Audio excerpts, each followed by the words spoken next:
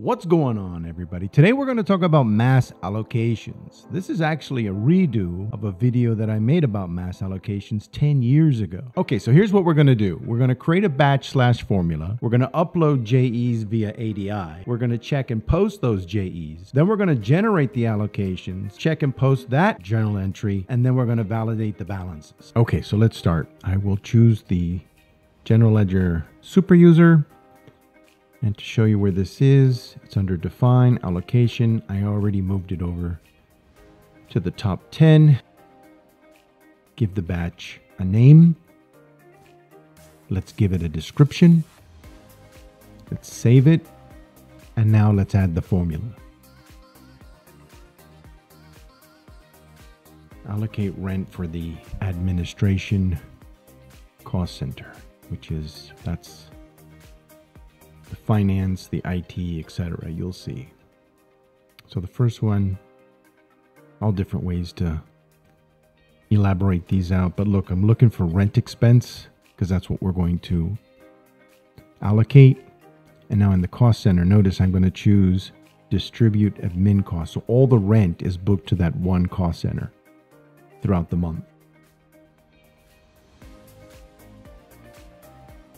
Notice I chose looping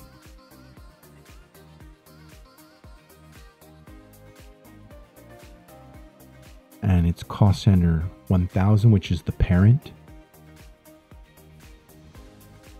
Here we're going to choose the same account information, except this time we're going to choose sum, as you saw.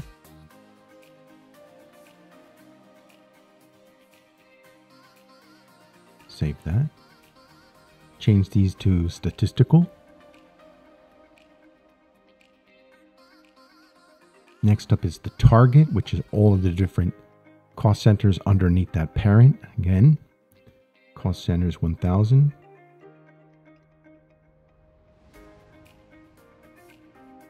All right, and this one's looping. And this is the offset, which is basically where all the money was booked to start with. The same as A. Notice here, A and O are the same. Okay, I'm going to change that to year to date because square feet, so to speak, which is what we're allocating it based on, doesn't change.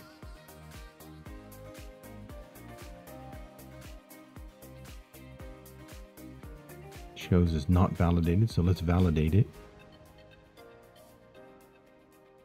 Let's close that down.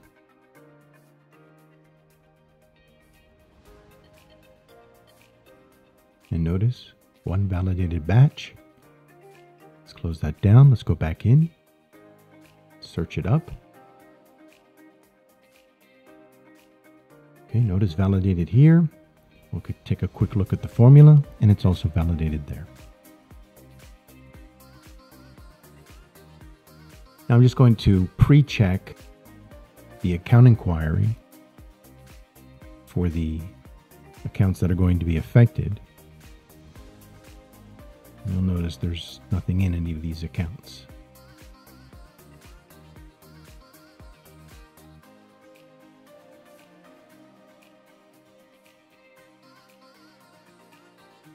I'm also going to check the journal, show there's no journal entries. Now, let's go over to ADI. I've got these two journals loaded up. This is the one that books the square footage based on the statistical.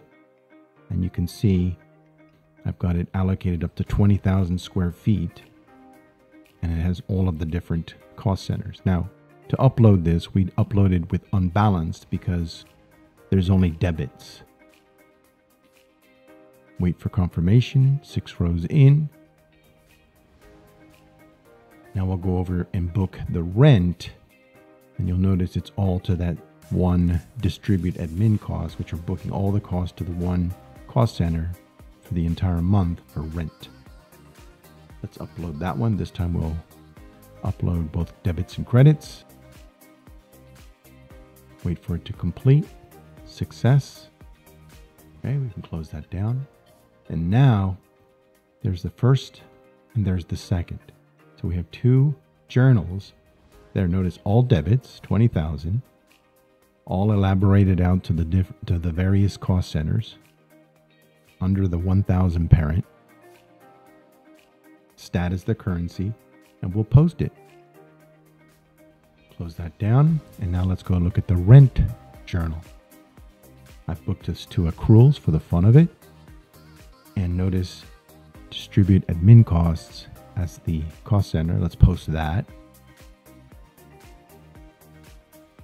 Okay, we'll query this up. That one's posted. Requery that. Processing and posted. And we'll take another quick look and we're all good. Now let's go back and we'll validate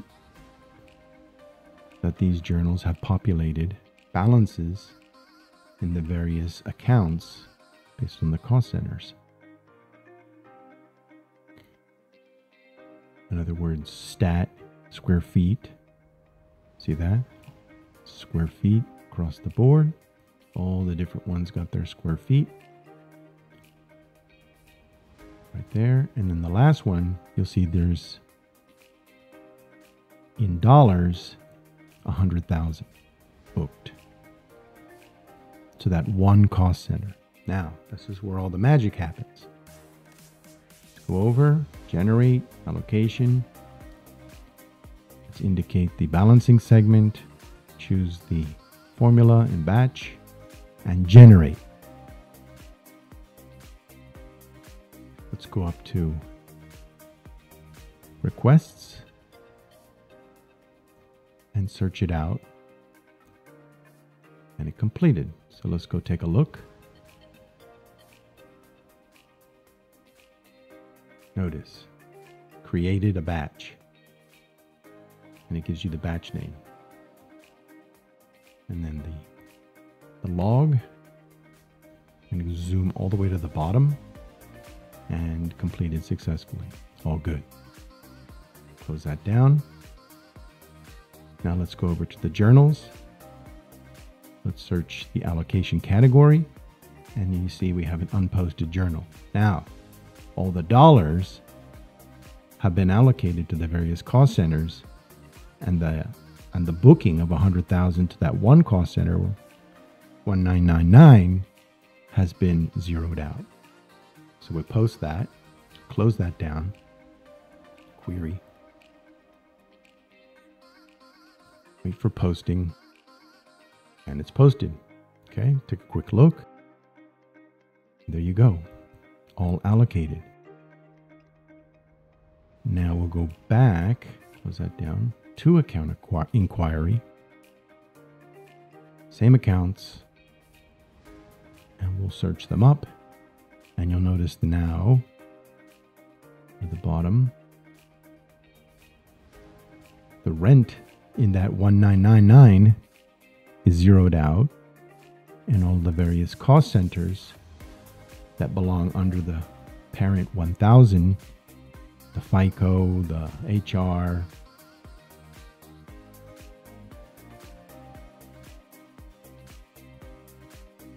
IT services got their parts. This is all based on allocating using the stat and square feet. So there we have it, mass allocations, start to finish. So that's going to do it for this one, folks. If you found the information useful, why not consider using the subscribe button like a bookmark so you can have easy access to the information without having to search for it when you need it. I really hope you enjoyed your visit today, and I will catch you in the next one.